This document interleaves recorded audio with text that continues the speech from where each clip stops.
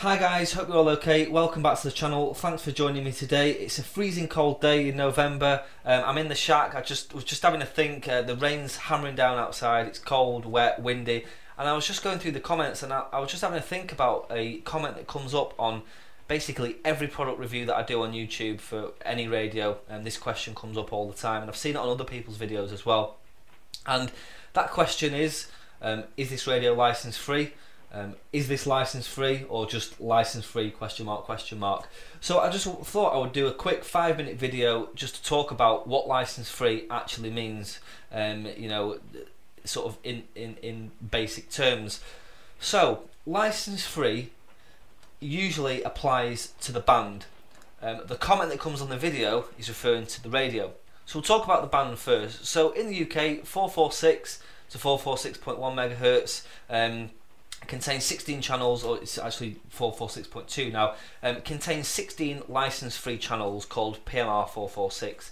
That band was was allocated as a license-free band by Ofcom and other regula regulatory bodies around Europe um, for license-free communications. So, to the novice, to the person that's just not clued up on radio yet, is just out learning, you know, you think, great, that's a license free band. I don't need to get my amateur radio license. I don't need a business license. That's a license free band where I can talk and use anything. But the reality is is that you can't. You can't use anything. And this is where your question comes in. So is that radio license free? So for PMR 446, this radio is completely license free because this there's terms and conditions um, applied to the band, and it's the same with GMRS, MURS, and other you know um, allocations around the world. There are conditions applied to that. So I can use this radio on PMR 446 because it has a fixed antenna and it has an output power of 0.5 watts. They're the main two criteria. There are others, so you can't use mobile stations, as in um, you can't use like mobile radios in the car with the mag mount on and stuff like that. Although this is where it gets confusing because there are some that have come out which are like a, a tiny little radio with an attached mag mount which doesn't plug in, it's fixed to the radio, but that's a whole different thing. But the, the basic rule um, states that basically I can't go and grab. I haven't got anything to show you at hand, but I can't go and grab my ICOM unit that's widebanded to 446 megahertz, plug in a big antenna and drive around. That's that's what the law states. So this radio is perfect for PMR 446. Um, you do get less range out of these things because they are only operating about 0.5 watts, um, so you, you're limited with them. But a lot of people think that this is a low power radio. It looks like that. This must be license free, but this isn't. So the Baofeng BF888S isn't license free. Um, the Baofeng UV5R isn't license free, and then another thing which just sort of gets um, it's mainly at novices, and I'm not putting anyone down because you're right to ask the question out. Welcome any question because no question on the channel is stupid. Um, they think I've never seen anything like that before. This is an unusual radio. Is this license free?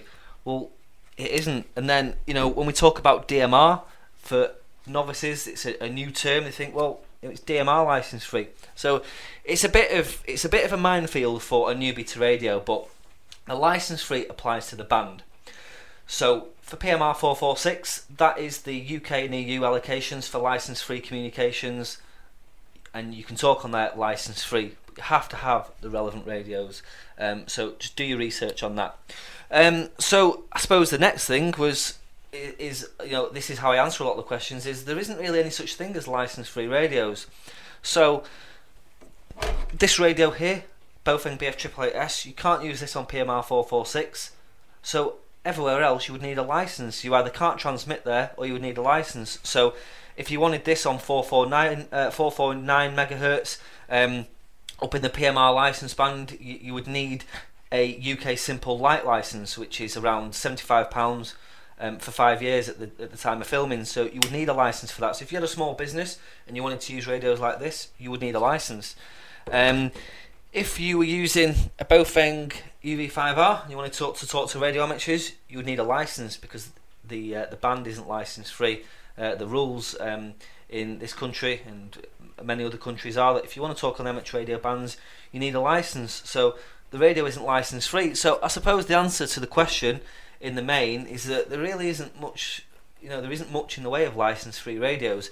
Now you can go and buy Icom radios and some more expensive commercial radios that cover the license-free bands. You'll pay more money for them, but they still fall under the same basic principles.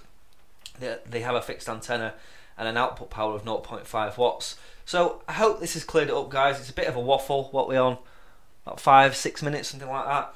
So I'm going to wrap it up here. But yeah, the answer to the question is if you want license-free communications, do your research. There are various bands, but they are limited to what kit you can actually use. So you can't just go and buy any radio and use it on the license-free bands because the radio will be breaking the rules of that of that band.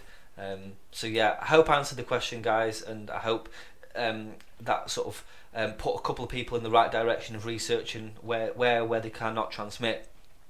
And all I would say to anyone who's after license free communications, look at getting a license, look at your amateur radio license. It's so easy. Anyone, kids pass amateur radio licenses. Um, whether whether people watching this agree or disagree with that now, it's very easy to get into radio and very easy to pass your amateur radio license. So I would recommend just doing it. Um, you know, if you are going to go out and and use um, illegal radios on license free bands, or you are going to use illegal radios on bands that you should be licensed for, then you may get caught for doing that. It is it is illegal, and you know I don't know about you. I'd rather just do things right. So yeah, I'll wrap this one up, guys. I've waffled on for long enough, but I hope that answered the questions on license free operation.